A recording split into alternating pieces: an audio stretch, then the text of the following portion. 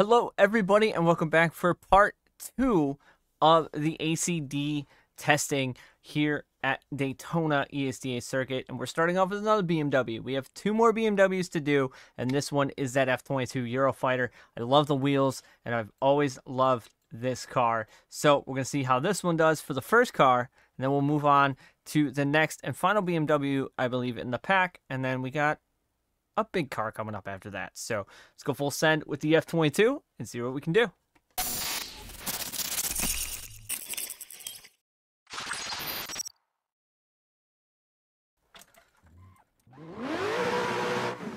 All these cars, like I said, all we're doing, if you guys were at the last episode, all we're doing is doing brakes adjustment to see which car feels the best in my hands initially without doing any tuning. And then we can fine tune cars from there. First run of the F-22.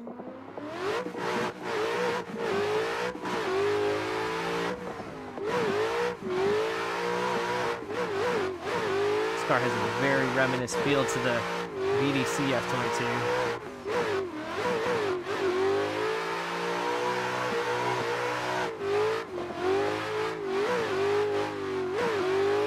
Oh. That was a pretty solid run, if I do say so myself. We have a pit button on the steering wheel. Gonna hit it that time. I'm last episode I kept hitting my keyboard, which you know it's not a big deal. It's right here, but still. So overall, that was a pretty solid run with this car. We're gonna try starting in second since we have to go in fifth.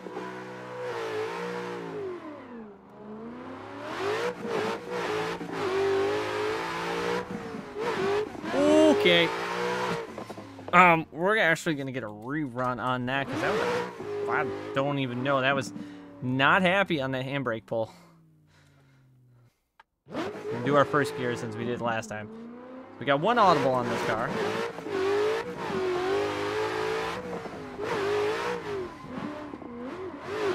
Not like breaking in that section, and we kind of ended up in the wall. So, we got one run to look at with this F-22. So we're going to see if this run looks good because we don't want to keep running it because that's unfair to all the other cars that we're going to be running. The car does look amazing though. ACD did do a great job with these cars the liveries do look pretty awesome. Yeah, that was a pretty solid run. Uh, just ticked into that zone we did paint that zone pretty well and just ticked into that one. So we're a little out of the zones, but overall, flow of the run was pretty good. So we're going to do the same thing in this episode as we did last time. You guys are going to pick down below in the comments which car you think in these groups of cars that was did better. I'm curious what this handbrake issue was. Because I don't know what, I think, is it A, my handbrake just sit down way too long? Yeah, I'm not sure what happened there. I wasn't even on the brakes. So we're going to get the next car out, one final BMW, and then we're switching up to some American cars. Next car is this big girl, the M4, the Drift Brothers M4. Uh, this car is so nice and super aggressive. You guys know I had an M4 that I was building, which I may bring back. But uh, we can see how this M4 does. Oh boy. This this is a big car. This is a long car. It's just as long as the RTRs, so it's pretty long. Let's see what we can do.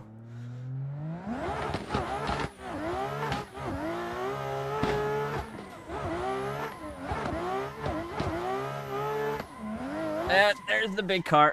I knew that was to happen.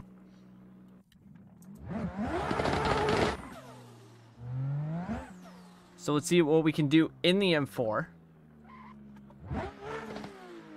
Without hitting the wall this time.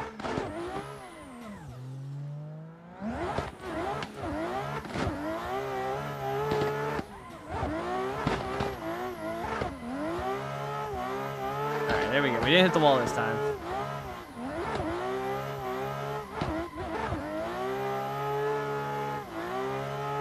Oh, this this car feels quite nice. Always the second car that I tried that feels the nicest so far. Last episode, the E30 felt good to me. And that was the second car I ran, so that was a solid run. So we're going to do one more since we kind of tanked the wall on the first one.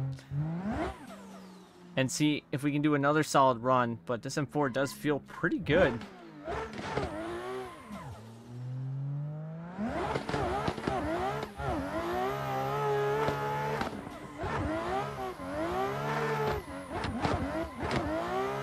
Such a tight section there. Don't want to smack the wall.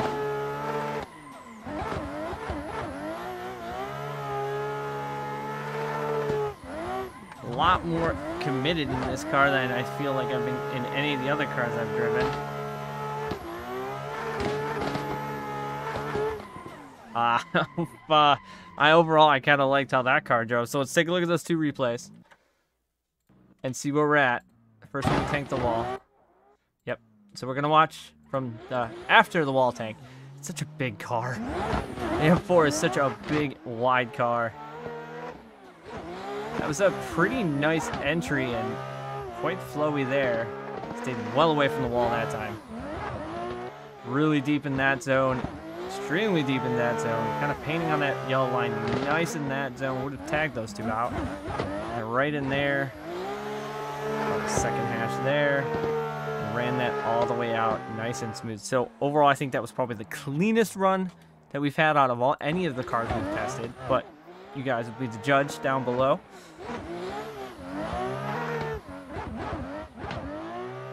I thought I was going to take that wall again. You can hear the feathering of the clutch. That one kind of floated a little bit, kind of slowed down a little bit there, but overall not too, too bad. Did drift a little bit wide there. Punted that, but ran that a little bit shallower. So, the M4, definitely a solid contender. 360 for style. So, let's get in the next car, which is an American car. I've driven it once before, but not on a track like this.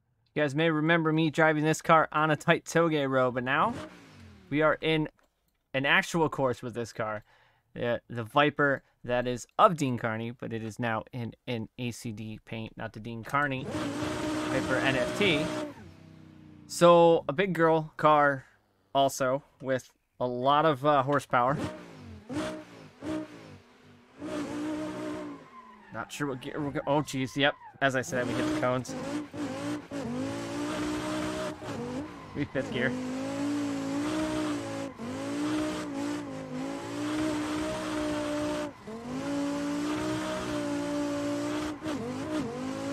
steering wheel is definitely a lot lighter in this car than the other cars. Oh, and yeah, there's a there's a bit of a weird uh, over rotation on that run, but overall not too bad. So let's. I want to take a quick peek because that was weird to me. We're going to put the brake bias back to 70 to 74, where all the other cars This is one car I noticed the brake bias was down to 74, or down to 64. So, second run with the Viper. We know it's going to be a gear hit, so see if we can't get a clean start. Okay.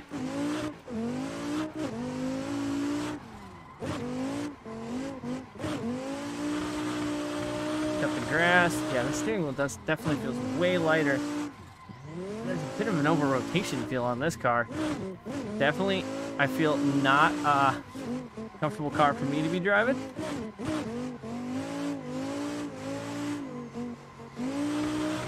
But maybe if I got used to it, but we're going to give the car a benefit of doubt and try one more. I noticed feathering the throttle was helping a little bit, so we're going to have one final run, give this car one final chance for me before we switch to another car.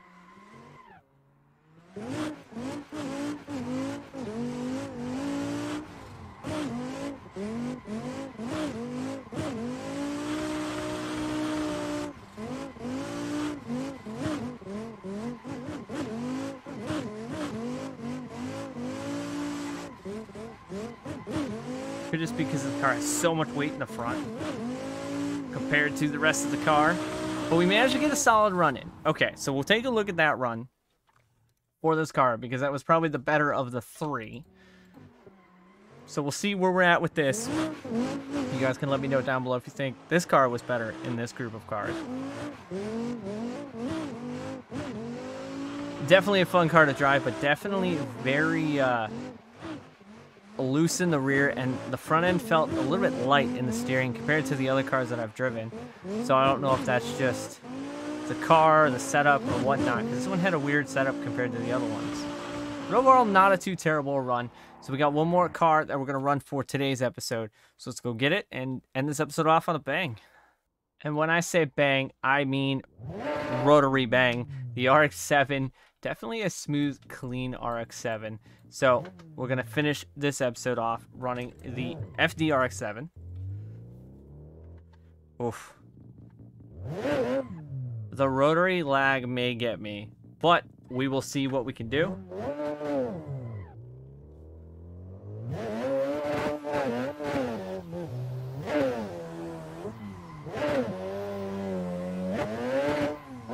Apparently third gear. Apparently this is third gear rotary, the third gear red line banging car, so we can get that on the next one for sure.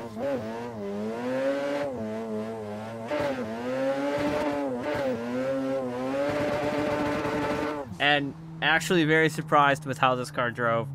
But like I said, we're gonna do it in third gear because if you guys remember back in the Forza days in the uh, SRS series or SSR, I was running a rotary. I was running a F an FC. So third gear hit for this for the second run to end this episode off.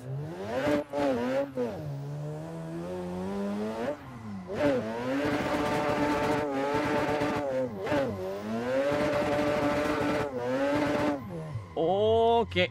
We're going to give that a benefit of a retry. Because we kind of uh, looped that a little bit too much. That was definitely my mistake.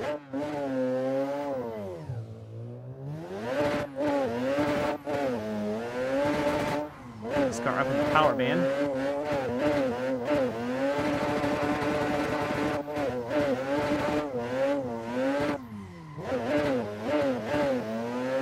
Definitely have some clutch kick keep the car from dying out. And just keep it in the RPMs and just banging the red line. just assaulting red line in this car. So let's take a look at those two replays. And so make sure you guys follow me on all social media, which found in the description box below. Let me know down what car you think out of these four was the best of the group. We have another episode with more cars of the ACD car pack. We're like, yep, nope, we're gonna have to go into third. Short, short, back into third. The rest of the run was not too bad. There's a little bit of a weird uh, blip in the track there with the graphics or something.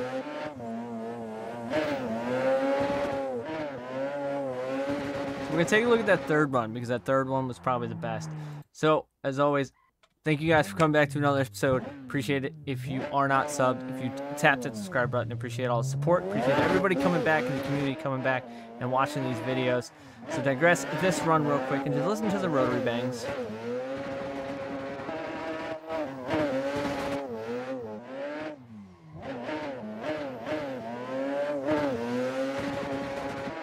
So as always, uh, thank you guys for coming back. Let me know down below which car this group you think was the better of the cars. And as always, I thank you guys for coming back. I'm Evil Rabbit. I'll see you guys on the track.